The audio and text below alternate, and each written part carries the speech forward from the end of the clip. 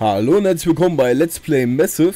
Ja, wir sind immer noch auf dem 4-1 zu 1 zu Team, man glaubt es gar nicht. Aber ich will dem Team jetzt nochmal eine Chance geben im Let's Play. Aber ich sag mal so, wenn das daneben geht, dann spiele ich einfach keine Viererketten mehr. Ist halt einfach so, weil ich habe das schon tausendmal angekündigt. Es muss mir Spaß machen und bisher habe ich mit diesem Team noch nicht unbedingt so den Spaß. Zwar drei Spiele und ja, dann seit sehr langer Zeit mal wieder im Let's Play eine Niederlage im Elfmeterschießen bekommen. Ich meine, das ist schon ein bisschen auffällig. Also die meisten Spiele sind halt eher dominierend und auch in diesem Pokal. Also ich habe in dem Pokal privat auch schon ein paar Spiele gemacht, habe auch fast alles gewonnen, deswegen, beziehungsweise ich habe alle gewonnen bis auf dieses Spiel und jetzt 4-1-2-1-2 läuft einfach nicht so ganz. Es ist nichts für mein, ähm, ja, für meinen Spielstil, aber wir, wie gesagt, wir versuchen es jetzt nochmal. Ich will es nicht sofort aufgeben, er hat ziemlich komische Trikots. Hm, ich weiß gar nicht, ob ich jetzt so überhaupt spielen soll. Weil ich habe dunkle Hosen, er wahrscheinlich auch. Ja, egal, wir versuchen es. Äh, versuchen es mal. Gegnerische Team. Silber, okay. Ähm, ja. Boah, ich kenne noch diesen Biondini, heißt ja, glaube ich, der rechte ZM. Ziemlicher Schrank. Ansonsten nur Italiener und nur Silber. Alles Serie A. Müsste. Nee, nee, da sind auch vorne welche Serie B.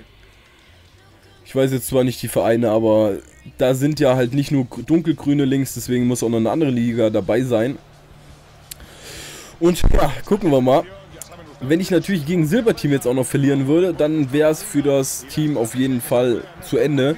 Also, ja, dann wäre es wirklich zu viel des Guten und ich würde wieder auf eine Dreierformation wechseln. Welche weiß ich noch nicht. Ja, es ist auch das der Fall, was ich mir dachte. Die Trikots sind wirklich nicht so super gewählt. Beide schwarze Hosen und auch und, äh, obenrum dunkel beide. Meine Trikots, muss ich auch ehrlich zugeben, sind nicht so pralle. Das ähm, Schwarz ist zwar schwarz genug gegen Weiß, allerdings ist das helle Trikot in Anführungszeichen, schade, kommt nicht durch. Das helle Trikot in Anführungszeichen ist nicht hell genug. Es ist halt, wie ihr hier seht, so, ja, das sieht auch nicht aus wie Gold, das sieht eher aus wie Kotze. Also nicht unbedingt so der Hammer. Ja, mal gucken, was wir hier machen. Ziehen wir mal hier rein. Santi. Boah, da, da, ist schon wieder das der Fall gewesen. Ich habe den Spieler, der da reingerannt ist, vielleicht habt ihr es gesehen, mit einem Spieler von mir verwechselt. Deswegen habe ich eigentlich nur den Pass gespielt. Im Endeffekt wollte er dann natürlich zu Torres spielen, weil der Spieler, den ich da anscheinend gesehen habe, gar nicht da war. Das ist halt so ein bisschen das Problem. Ich denke mal, entweder wieder auf die, wie heißen sie? Ähm, Celtic-Trikots, weil die sind schön erkennbar, einmal weiß, einmal schwarz. Oder ich mache einfach mal so einen Mix. Mal gucken, weiß ich noch nicht. Aber hier soll es ja nicht um Trikots gehen. Hier soll es darum gehen, ob wir das Team behalten. Und deswegen sollten wir uns hier ein bisschen konzentrieren. Und der läuft nicht durch. Nein, ich wollte auch nicht auf Suarez spielen. Ich wollte eigentlich außen Navas, denke ich mal, war es, der da durchgestartet ist. Ja, das war aber nie so der Hammer. Äh, Company. Abseits? Hat der Schiedsrichter aber ziemlich lange für gebraucht, um da mal abseits zu pfeifen. Hier auf Torres. Ja, so halb gewonnen das Luftduell. Suarez. Ja, er geht aggressiv mit zwei Leuten drauf. Macht er gut. Rausklären hier. Äh. Hinten ist es echt noch eine Katastrophe bei mir, muss ich sagen. Also es ist echt... Boah, Alter regt mich schon so ein bisschen auf natürlich, weil, ah, das, wenn man seinen Spielstil nicht spielen kann, diesen Druck, den ich brauche, den ich machen muss, sonst kann ich den Gegner auch nicht zu Fehlern verleiten, kann ich hier einfach nicht bringen, es geht nicht. Hier setzt sich Torres durch, Flanke auf Suarez, aber der kann sich nicht durchsetzen. Fellaini aber wenigstens schön bereit, nicht zu weit nach vorne aufgerückt. So, und jetzt hier mit dem... Boah, gut gemacht von Company. Das ist dann wichtig, wenn man mal so einen Schrank mit da drin hat. Lobpass über die Abwehr ist abseits, ne? Ja, abseits. Hätte der Schiedsrichter auch mal vorher machen können, aber ich habe, glaube ich, die Fahne noch so im Augenwinkel gesehen. Ja, da hätte sich dann Suarez mal ein bisschen bewegen können, dann hätte er den vielleicht gehabt.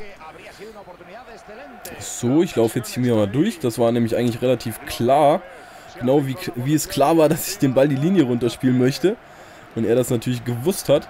Wow, der Ball kam richtig mies, aber hat er auch nicht so ganz mit gerechnet. So, also das ist echt hier... da muss ich, egal gegen was für einen Gegner ich spiele, ich weiß jetzt noch nicht, wie gut er ist. Blöd scheint er nicht zu sein, sonst hätte er hier schon einen gefangen. Allerdings muss ich hier mich echt gegen auch vielleicht etwas schlechtere Gegner konzentrieren, damit ich hier hinten gut stehe in der Abwehr. So, und jetzt mal durchgeschickt auf Suarez. Aber der ist langsamer. Echt krasse Scheiße. Was hat er denn für Verteidiger? Ich überlege nämlich gerade, in der Serie A, da gibt es doch eigentlich nur als schnelle Verteidiger diesen Santa Croix oder sowas. Und obwohl, nee, nicht obwohl, sondern obwohl. Ähm, Spanische Liga war die, die relativ lahm war. Ich glaube, in Italien gibt es noch ein paar mehr. Aber ich glaube auch nicht glänzende. Sonst wäre dieser Santa Crow oder wie er heißt, nicht so beliebt. Na gut, er hat natürlich auch noch Serie B. Vielleicht ist da was zu finden. Keine Ahnung, ich weiß es nicht. Jedenfalls, ach, Pasquale hat er auch. Den kenne ich noch. Na, Ach nee, Quatsch, ich meine jetzt Pasquato. Äh, Pasquale ist wieder was anderes. Äh, so, Pasquato hätte ich auch, glaube ich, am Bild erkannt. Das war so einer, der relativ gerne genutzt worden ist in FIFA 12, vorne mit El Sharawi in Silberteams. Pasquato und wer war denn der dritte? Das war doch ein äh, Tunesier oder sowas. Boah, Alter, wie er sich durchpusht mit dem, keine Ahnung wer das ist. Mit seiner Nummer 10. Pusht er sich da fast an Company vorbei. Äh, Fellaini. Balleroberung zwar ja, aber ja, so und jetzt hier Lobball. Oh, da rennt Suarez wieder nach hinten, ey. Boah, ich sag im letzten Gameplay noch, er ist eigentlich schön vorne, aber jetzt irgendwie als das Gegenteil der Fall, ist ja klar, dass er nicht ins Abseits rennen soll. Allerdings soll er natürlich auch nicht 50 Meter erst wieder nach hinten rennen. Er hätte einfach nur stehen bleiben müssen. Dann hätte er sich eventuell noch durchpushen können. Die Michele, okay, ich kenne die alle nicht. Sagt mir jetzt alles nicht unbedingt was. Auf der Linie geklärt, hier durchgeschickt auf Suarez. Ja, da sind wir jetzt natürlich... Oh, fuck. Ist alles zugestellt. Jetzt hier mal durchgeschickt auf Santi Casola, der aber auch nicht so schnell ist.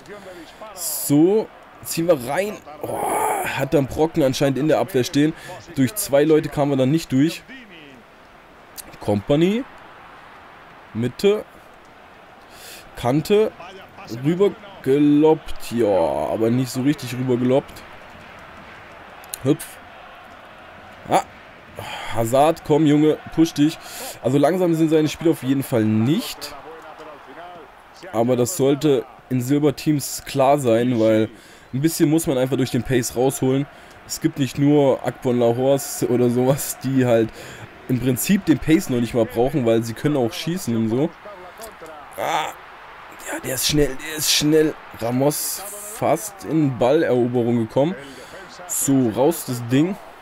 Also hinten steht er richtig solide. Ich kann halt immer nur von 4-1-2-1 reden. Ich weiß nicht, ob wir jetzt im 3-5-2 besser durchkommen würden. Das kann ich nicht sagen. Wahrscheinlich ein wenig besser, weil ich halt mehr Druck machen können. Kann. Nicht können. Er baut auch hinten fast immer eine Fünferkette dann auf, wenn, wenn ihr das schon gesehen habt.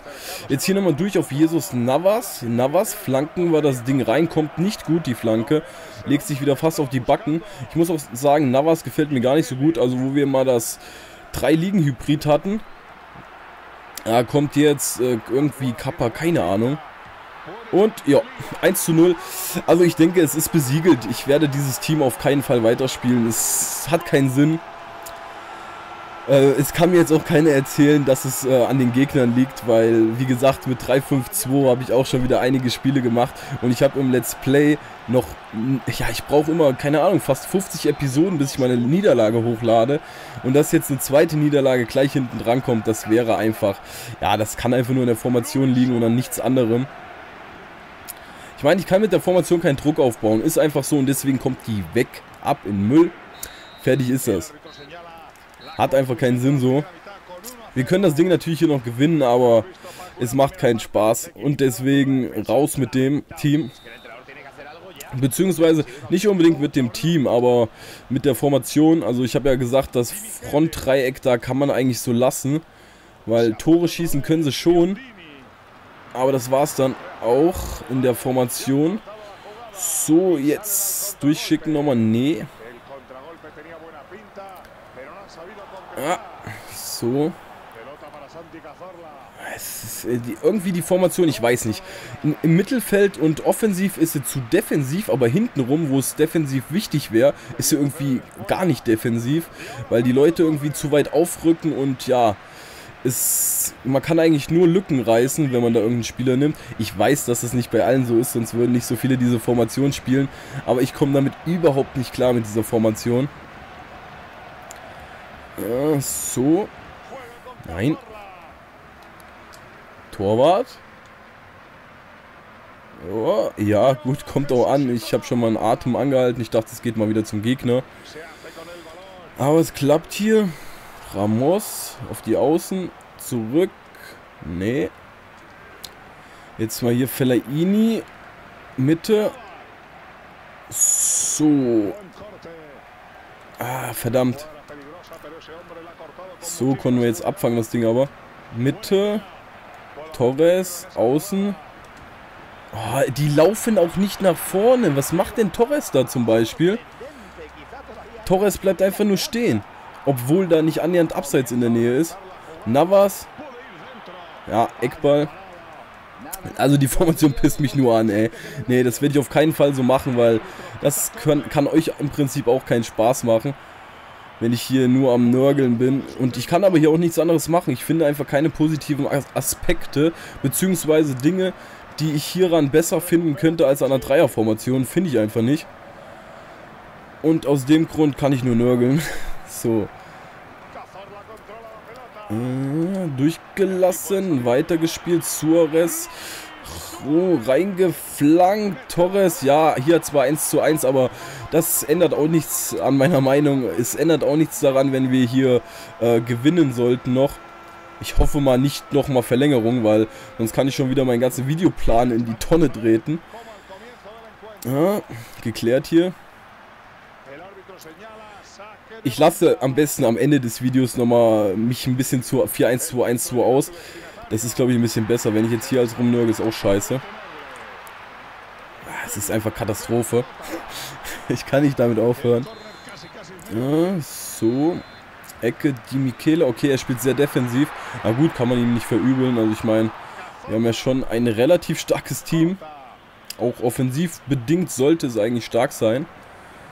So, jetzt hier Torres, mal hier Suarez durchgeschickt, aber kommt da auch noch mit seinem Verteidiger hin. Ja, die Dinger kannst du dann eher vergessen. Ich kann ja mal hier defensiv machen, vielleicht steht es ja dann ein bisschen besser, habe ich noch nicht probiert hier mit dieser Aufstellung. Außen durch, Company. Er darf jetzt natürlich nicht den Lauf spielen, aber Ramos sollte da eigentlich aufpassen. Das gibt es nicht. Also ohne Scheiß. Ich, oh, meine Fresse, ich bin sowas von krass angepisst von dieser Formation. Ich kann hier nicht mit verteidigen. Ich kann, egal welchen Spieler ich rausziehe, der reißt dann wiederum eine Lücke. Und, äh, nee. Nee. Da ist es rum für mich. Also, es geht hier gar nichts. Es ist kompletter Dreck. Und mehr kann ich dazu nicht sagen. Und es wird von mir auch gar keine Viererformation mehr geben. Ich werde vielleicht nochmal, ja, dann, wenn ich Teambuildings mache, Vorschläge machen für eine Vierer-Formation. Aber ich werde kein Vierer-Team mehr bauen. Das gibt es bei mir nicht mehr. Oh, Alter, ich bin so krass angepisst. Und wenn er jetzt noch denkt, Zeitspiel machen zu müssen, dann, ja, dann es noch weiter. So, jetzt hier nochmal Balleroberung von Klischee. Kannst du vergessen. Fellaini, ja, das ist einfach noch der einzigste Lichtblick hier, Fellaini, dass der im Mittelfeld da nochmal ein bisschen was abräumt. Aber meistens laufen die, das ist fast so, als wenn ich immer sage, Dreierkette müsste aufpassen, dass ihr auch einen Defensiven im Mittelfeld habt. Das kommt mir so vor, als ob ich das halt gerade nicht hätte. Und ähm, ja, Suarez halt hier 2-2 ist mir aber Latte. Äh, es, es kommt mir echt so vor, als ob ich so eine richtig offensive Dreierformation spielen würde, aber nicht nach vorne, sondern nur nach hinten, weil die Gegner laufen irgendwie bei mir immer nur gegen die Dreierkette, äh, gegen die Zweierkette im Prinzip, gegen die zwei Innenverteidiger. Ey, das ist unglaublich. Ey, es, es kotzt mich einfach nur noch an, also es ist, boah, Alter.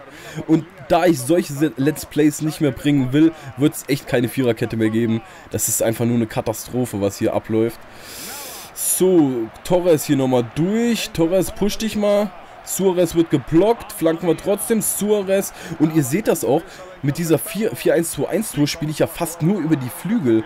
Also das ist bei äh, einer Dreierkette mal überhaupt nicht der Fall. Nur so als Anmerkung. Santi Casola will ich den Freistoß schießen, weil, ja, das kann er auf jeden Fall. Ich habe schon einen mit ihm reingemacht. Und er macht auch diesen fast rein. Das kann er definitiv. Ah, scheiße, wir haben ja umgestellt auf defensiv. Das war jetzt natürlich äh, Navas hier mal abgelegt. Boah. Casola, Strafraumkante nochmal abgelegt. Torres war es, glaube ich. Ey, nein, wir können jetzt hier nicht nochmal in eine Verlängerung gehen, sonst ist mein komplettes Konzept im Eimer. Und da ist drüben alles frei. Und wir spielen eine verdammte Viererkette auf defensiv. Es waren schon bei der Ecke extra nur zwei Stück vorne drin. Da frage ich mich, wo die anderen sind, die dann eigentlich, wenn es nur zwei vorne sind, äh, ja, die dann eigentlich hinten sein sollten. So, Fellaini, komm, push dich nochmal hier. Ja, hier, Gegner lupft. Beziehungsweise, ich denke mal, er will einen Lauf spielen. Hier spielen wir einfach nach außen. Ich sehe hier nichts. Ja, okay, hätte ich mal lieber lassen sollen. So, Fellaini außen auf Hazard nochmal. Und jetzt spielen wir das Ding hier lang und weit zum Torwart in die Arme. Turkish Star 74. Beieieiei. Natürlich kann man nicht sagen, dass der Gegner schlecht ist oder sowas. Er spielt das schon nicht schlecht runter. Allerdings sage ich, dass ich mit einer Dreierkette hier gar keine Tore fange.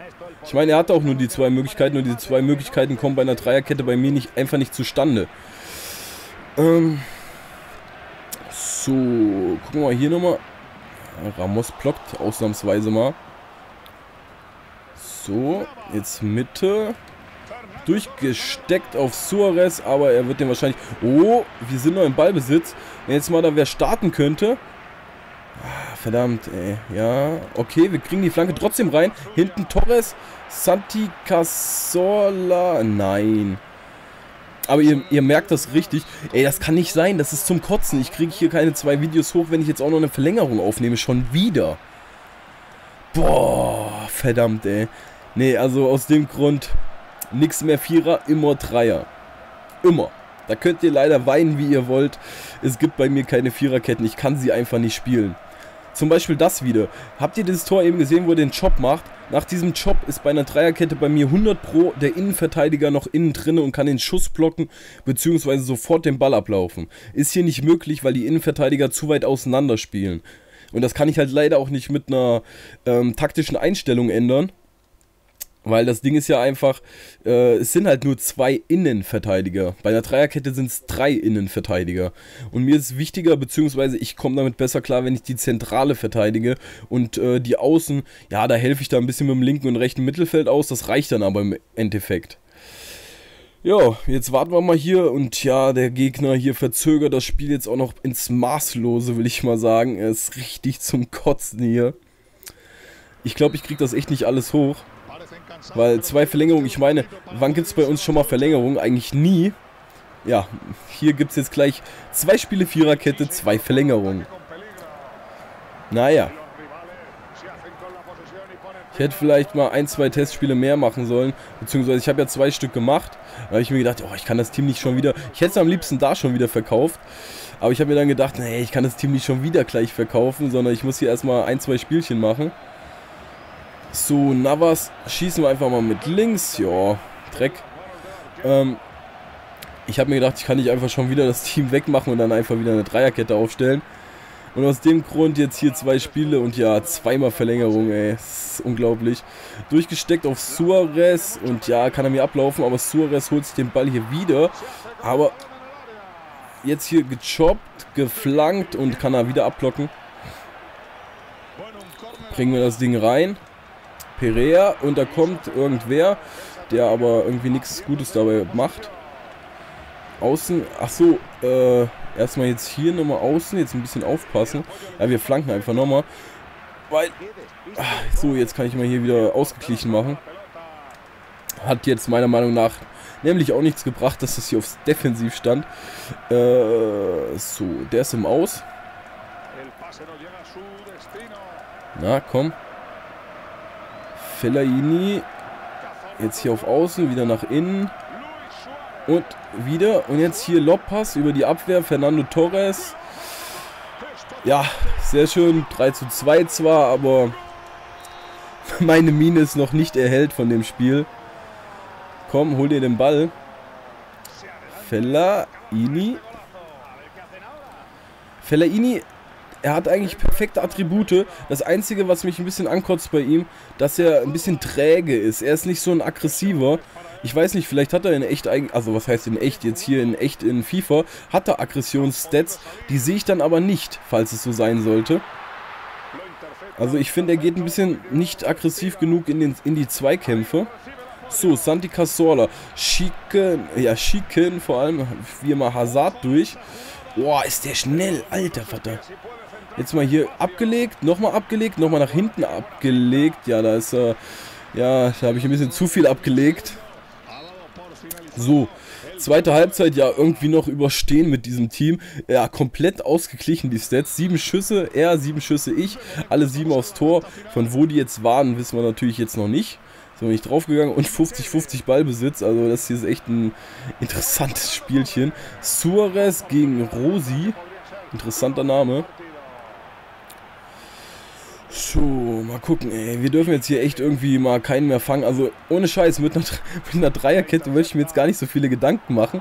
Aber bei der Viererkette habe ich jetzt mittlerweile schon so viel gesehen, äh, dass ich mir da schon ein bisschen Gedanken mache, dass wir jetzt hier noch einen fangen und wieder ins Elfmeter schießen müssen. So. Ein bisschen hier. So, Fellaini rausgezogen. War auch im richtigen Moment. Und jetzt hier mal Lobpass auf Suarez gegen Campo, keine Ahnung, Campurese oder so. Alter, er hat, er hat auf jeden Fall schnelle Verteidiger. Das können auf keine, keinen Fall eigentlich welche mit 60 Pace sein. Boah, was ein mieser Pass von Navas. Also Navas würde auf jeden Fall, wenn wir wieder auf 3-5 irgendwas umstellen, rausfliegen. Weil Navas gefällt mir gar nicht. Der ist irgendwie viel zu körperschwach, hat noch nicht mal einen guten Schuss. Oh ja, irgendwie die Pässe kommen auch nicht so ganz. Ja, was macht Perea bitte da? Oh, Alter. Wollt ich das komplett verarschen? Guckt euch das bitte nochmal an. Der bleibt einfach stehen. Und jetzt bestimmt Eckballtor. Fackel raus, das Ding hier. Ich will mir jetzt nicht durch so einen Dreck hier noch ein äh, Tor einschenken lassen. So. Hm. Ja, Company. Auf Perea. Ich will den jetzt eigentlich gar nicht so weit rausziehen hier. Alter. Nee, in der Mitte. Casorla jetzt auch nicht so der Bringer. Bisher. Ja, Fellaini. Boah. War wichtig. Nochmal nach hinten. Casorla. Nochmal nach außen. Und aus. Für uns. Ähm irgendwie, ach so, bei dem Team ist mir vorhin aufgefallen, vorhin sind beim bei Einwürfen gar keine Spieler gekommen. Bei zwei Einwürfen von mir, boah, haut er mich hier richtig um. Suarez, ja, ey, das, das passt zum Spiel, aber es dürfte im Prinzip zu Ende sein. Five. Ey, hör auf, Mann, hör auf. Ja, okay, wir gewinnen das Spiel hier zwar 3 zu 2, aber ihr wisst es, ähm, die Viererkette kommt weg könnt ihr vergessen, ich kann mit einer Viererkette keinen Druck aufbauen. Jetzt habt ihr es sogar in zwei wunderschönen Gameplays gesehen. Ich faile komplett mit einer Viererkette. Es geht überhaupt nichts. Ähm, Hazard zum Beispiel hat mir im 3-5-2 in einer Dreierkette richtig geil im linken Mittelfeld gefallen. Hier im 4-1-2-1-2 fällt er komplett gar nicht auf. Und irgendwie geht bei mir alles über Flanken. Das ist richtig krass, was eigentlich gar nicht bei mir so der Fall ist. Aber hier, ne, könnt ihr vergessen. Ich habe jetzt die beste Vierer-Formation getestet und sie für failig empfunden. Für meinen Spielstil. Natürlich können andere damit spielen, die können damit Dreierketten nicht spielen. Jedenfalls, bei mir wird es keine Dreierkette, äh, Viererkette mehr zu sehen geben. Weil einfach, äh, guckt euch die be letzten beiden Gameplays an, dann wisst ihr warum. Mehr gibt es dazu nicht zu sagen. Ich werde das Team umbauen. Beim nächsten Gameplay wird es dann wahrscheinlich ein 3-5-2 sein. Das Spielermaterial wird relativ gleich bleiben. Außer ich habe schon angedeutet, Navas kommt ziemlich sicher weg. Und ansonsten muss ich halt mal gucken. Weil Dreierkette hat ja dann auch keine Außenverteidiger mehr. Die kommen dann natürlich auch weg. Und wer dann so noch mit reinkommt. Ich weiß es noch nicht. Schauen wir mal. Ansonsten kann ich nur sagen, schreibt mal eure Meinung dazu. Jetzt konntet ihr mich wirklich, manche meckern ja wirklich, warum ich äh, nie verliere und sowas. Ihr könnt euch jetzt über eine Niederlage und eine Fast-Niederlage von, von mir freuen und könnt euch die immer wieder schön reinziehen. Weil, ja, wegen Viererkette und so. Ich sage einfach, es liegt an der Viererkette, weil es liegt auch nicht an dem Pokal. Ich habe den Pokal schon auch einige Spiele mitgemacht, mit der 3-4-2-1, mit dem Ibra-Team und habe auch alle Spiele gewonnen. Also daran wird es ganz sicher nicht liegen. Ich habe noch nie so Probleme gehabt mit so einer Aufstellung, aber ja, 4-1-2-1-2, beziehungsweise es liegt auch nicht an 4-1-2-1-2, sondern einfach an einer Vierer-Aufstellung. Jetzt habe ich genug gesagt, weil ich will die Videos alle zeitlich hochkriegen und aus dem Grund würde ich sagen, ich hoffe, es hat euch trotzdem gefallen, auch wenn wir ein bisschen gefehlt haben. La, ja, lasst ein Like da, schreibt was in die Kommentare und ab ins Forum, Link ist in der Beschreibung. Das wäre es gewesen, macht's gut, ciao.